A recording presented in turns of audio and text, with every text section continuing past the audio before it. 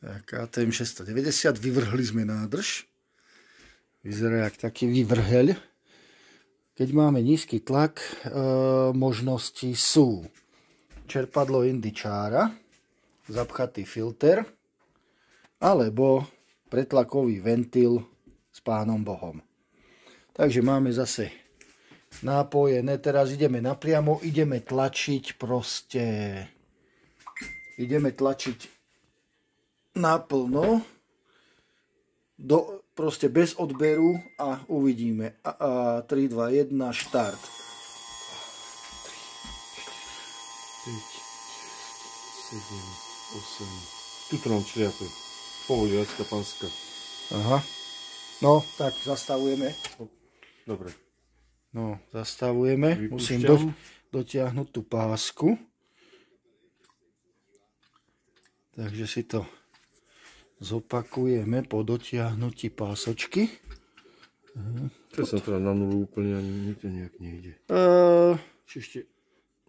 uh, má to takú svoju polohu, nie je úplne stlačenú, kedy to uvoľňuje. Také musíš od, odsvačkať. Ukáž, skúsim. No, no, Ľavou rukou ako od cudzieho. hej, ľavou ako od cudzieho, hej. No, to pri- no skús ho pritiahnuť, ale Aha. No, takže asi, čo som, slabo dotiahol, alebo je tá spona v... Ty si ju dal asi vyššie trošku a sa zošmykla. Aha, Skúsme. no, dobre. Takže, bacha. Zapínam to takto, chcem sa vyhnúť nejakému iskreniu tuto na kontaktoch, predsa len benzín je potvora. Vraj je výbušný. Nejdeme. 3, 2, 1, štart.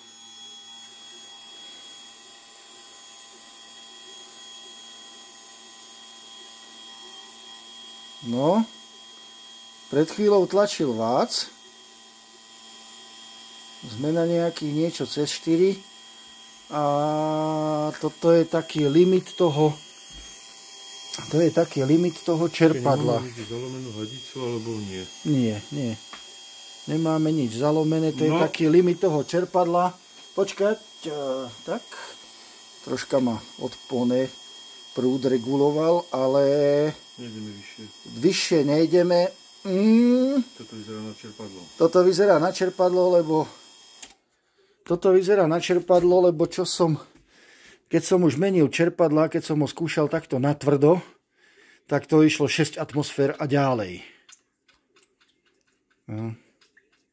6 atmosfér a ďalej. Tá, toto je, a to je čosi C4 a nemáme žiadny odber.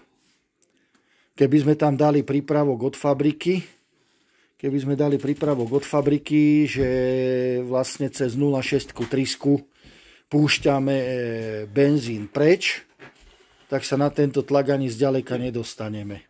E, Lebo originál sa to meria, tu ideme do tvrdá, ale mali by sme mať proste, tu na boku by sme mali mať nejakú 0,6 trysku, s ňou to čvrlíkať preč a vtedy by sme mali dosiahnuť tých 3,3 až 3,7. Ale tu sme natlačili horko ťažko 4,2, aj keď pri prvom pokuse bolo 5. Mhm.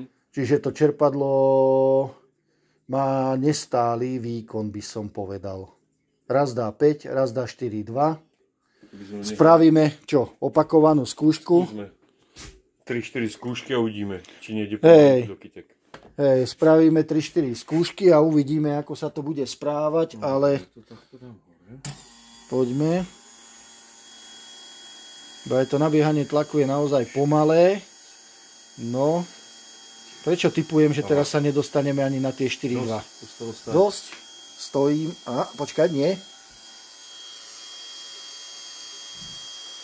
Sme na štyroch. No, ale to je... To nie. A, a. Dobre. Odfrkni ho. Počkaj. No, zase sme sa na nejakých 4-2.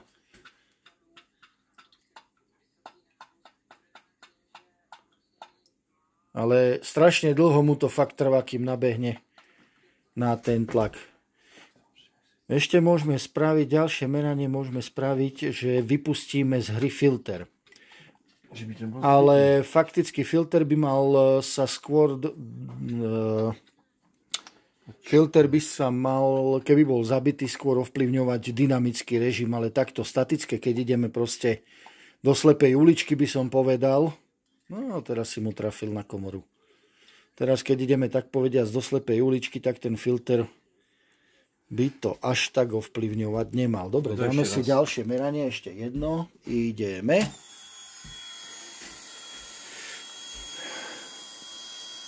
No. Že to má takto horšie. dlho štartovať. No, vyzerá to tak, že čím ďalej, tým horšie. Hm. Toto by malo dať normálne pri odbere. No. To by malo dať pri odbere a nie takto, že žiadny odber, nikdy nám nič neuniká. No, 4-2 horko ťažko. Nie, čo si pamätám, tak toto, toto čerpadlo proste be, takto do slepej uličky by malo tlačiť nejakých 6 atmosfér. A neviem, či tam není ešte aj e, predpis nejakých 160 litrov za minútu, alebo tak nejak, ale to už neviem, či sa nepletiem s niečím iným. Dobre, nič. Budeme meniť čerpadlo.